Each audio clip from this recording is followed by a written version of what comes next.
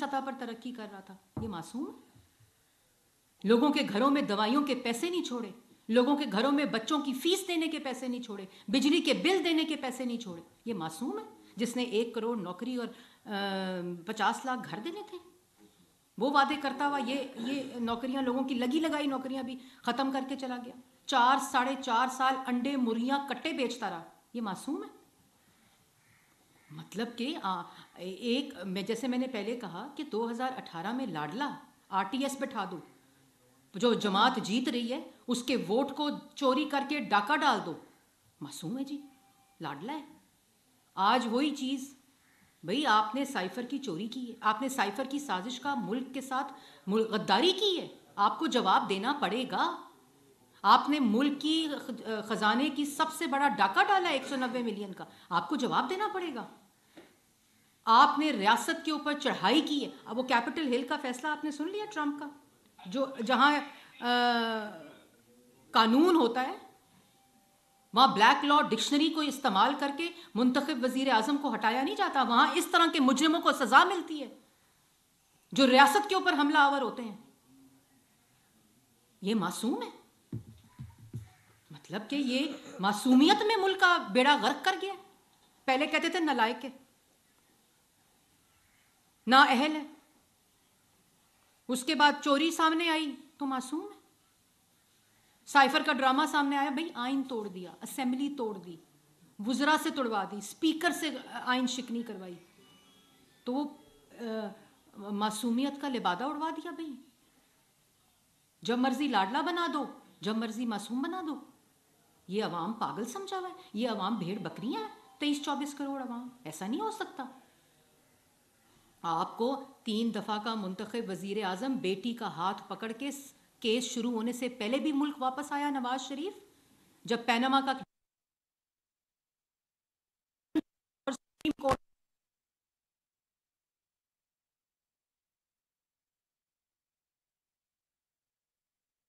وہ لندن میں تھے۔ کیس شروع ہونے سے پہلے بھی وہ پاکستان واپس آئے۔ جب ان کی اہلیہ بیمار ہوئی، وہ یو کے میں تھے۔ سزا سننے کے بعد ملک کی تاریخ میں اگر کوئی شخص اور وہ سزا جو جھوٹے مقدمات، بھونڈے مقدمات، جن کا ہائی کورٹ کے اندر جنازہ نکلا جن مقدمات کا۔ ایک گھنٹے کے اندر فیصلے آئے ہیں، کیونکہ یہ تھے اس وقت صندوق جاتے تھے سپریم کورٹ۔ اس وقت ہیروں کی جے آئی ٹی بنتی تھی۔ اس وقت مانیٹرنگ جج لگتے تھے۔ ایک دف تین دفعہ کے مند آج آج وہ سائفر کا سازشی غدار، ایک سو نوے ملین کا ڈاکہ۔ آپ بتائیں نا کہ جس شخص، جس وزیر اعظم کے اوپر الزام لگا رہے تھے، جھوٹے مقدمے بنا رہے تھے، اس الزامات میں، ان مقدمات میں، ان جے آئی ٹی کی رپورٹ پہ، ان کیسز میں، ان ریفرنسز کے اوپر بھی نواز شریف پہ کرپشن کا الزام نہیں لگا سکے۔ بیٹے سے تنخواہ نہیں لی۔ بیٹے سے تنخواہ نہیں لی۔ اس، ان ان صندوق جو آتے تھے سپریم کورٹ، جو تماشا اور تمسخر اڑایا جاتا تھا، ان صندوقوں کے اندر بھی ایک کاغذ کے اوپر ایک لفظ کا الزام کرپشن کا نہیں ہے آج تک نہیں ہے۔ وہ شخص جو دو دفعہ وزیر اعلیٰ رہا ہو اور تین دفعہ وزیر اعظم رہ کر ملک کے پیسے کو امانت کے طور پر خرچ کا ہو اس پہ کرپشن کا الزام تک نہیں لگا سکے۔ آج ثبوت سامنے ہے۔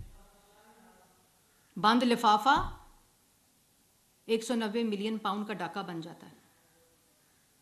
سائفر، سازش بن جاتی ہے جس کو کمرے میں کہا جاتا ہے۔ وہ آڈیو لیکس آ گئی جس میں کہہ رہا ہے کہ کھیلنا نہیں وہ معصوم ہے۔ بات تو میں نے پہلے جیسے کہا کہ دو ہزار اٹھارہ میں لاڈلا کہہ کر مسلط کیا۔ اب معصوم کہہ کے مسلط کیا جا رہا ہے۔ یہ نہیں چلے گا۔ یہ پاکستان کی عوام اجازت نہیں دے گی۔ اگر نواز شریف تین دفعہ کا منتخب وزیر اعظم جھوٹے مقدمات پر روزانہ کی پیشیاں بھگت سکتا ہے، ہر عدالت میں پیش ہو سکتا ہے، وہ بھی رکھنے ڈال سکتا تھا۔ ان کو جب وہ دو ہزار سترہ میں وزیر اعظم تھے، وہ جے آئی ٹی میں نہ پیش ہوتے تو ملک کا قانون کہتا تھا کہ ان کو ایمنیسٹی ہے، وہ نہیں جا سکتے۔ وہ گئے اور اللہ تعالیٰ نے سرخرو کیا۔ کسی کا بچہ نہیں چھوڑا، کسی کی بہن نہیں چھوڑی، کسی کا بھائی نہیں چھوڑا۔ کسی کا پولیٹیکل ورکر نہیں چھوڑا، پوری کی پوری قیادت دو ہزار اٹھارہ میں جیلوں میں ڈال دی۔ اس وقت تو معصومیت کا سرٹیفکیٹ کسی کو یاد نہیں آیا۔ کہ ملک کا وزیر اعظم تھا یار کرپشن ثابت نہیں ہو رہی۔ جو جو جو فلیگ شپ کا فیصلہ نیب کورٹ نے دیا، اس کے اندر لکھا ہے کوئی کک بیک کوئی کمیشن کوئی کرپشن کا شائبہ بھی نہیں ملا۔ تماشا بنا لیا پھر آخر میں میں یہ کہنا چاہتی ہوں کہ یہ جو ہے نا یہ عوام پاکستان کی دیکھ رہی ہے اور یہ سلسلہ بند ہونا چاہیے۔ ایک شخص جیل میں ہے، اس کے اوپر سنگین الزامات ہیں انڈر انویسٹیگیشن ہے، اس کو اپنا جواب دینا پڑے گا۔ اور یہ عوام کا پیسہ ہے۔ اس سے القادر ٹرسٹ نہیں بن سکتا تھا۔ یہ عوام کا پیسہ ہے۔ اس سے پانچ کیرٹ کی انگوٹھی نہیں لی جا سکتی تھی۔ یہ سائفر کا معاملہ ملک کی خارجہ پالیسی کے اوپر اثر انداز ہونا ہے۔ ملک کے خلاف سازش کرانا ہے۔ اور اینڈ میں معصومیت کیا ہے؟ نو مئی کا پوچھو تو میرے کارکنوں نے کرایا تھا۔ وہ اس کا پوچھو بند لفافے کا، وہ جو ایک سو نوے ملین پاؤنڈ کا ہے، تو کابینہ کا فیصلہ تھا۔ مطلب کہ یار بھائی کوئی دیکھ رہا ہے یا نہیں دیکھ رہا؟ لطیف سب کچھ دیکھ رہا ہے۔ ٹھیک ہے نا؟ یہ بات آپ کو نہیں بھولنی چاہیے۔ اس لیے یہ بات آپ کو یاد رکھنی چاہیے۔ اور پاکستان کی جو عوام ہے، بائیس تیئیس کروڑ کی، وہ اب انڈے، کٹے، مرغیاں کے جھانسے میں اور ایک کروڑ نوکری اور پچاس لاکھ گھر کے جھانسوں میں نہیں آئے گی۔ وہ کتنا کہا تھا کہ پیسہ آئے گا باہر سے کرپشن کا؟ دو سو ارب۔ دو ڈھائی سو ارب یہ تھا ڈھائی سو ارب خود کھا کے بھاگ گیا۔ یہ اب عوام بے وقوف بننے والی نہیں آج عوام کو سستی روٹی چاہیے۔ آج عوام کو سستی بجلی چاہیے سستا گیس چاہیے نوکری چاہیے ملک کی ترقی چاہیے۔ دہشت گردی کا خاتمہ چاہیے۔ آج عوام یہ چاہتی ہے کہ ان کے گھر میں مفت دوائی اسی طرح آئے جیسے شہباز شریف اور نواز شریف کے دور میں آتی تھی۔ آج عوام چاہتی ہے اس کو سستی بجلی، سستی گیس اسی طرح ملے، جیسے نواز شریف کے دور میں ملتی تھی۔ آج عوام یہ چاہتی ہے کہ ان کے گھر میں اسی طرح علاج گھر تک پہنچے۔ یوتھ پروگرام ہو، آج نوجوان یہ چاہتا ہے کہ جب اس کے ہاتھ میں ڈگری ہو تو اس کے ہاتھ میں روزگار ہو، جیسے دو ہزار تیرہ سے لے کے دو ہزار اٹھارہ تک ہوا تھا۔ یہی ملک تھا۔ پانچ چھ سال پہلے کی بات ہے۔ ترقی چھ اشاریہ ایک پہ تھی، مہنگائی دو اشاریہ چار پہ تھی۔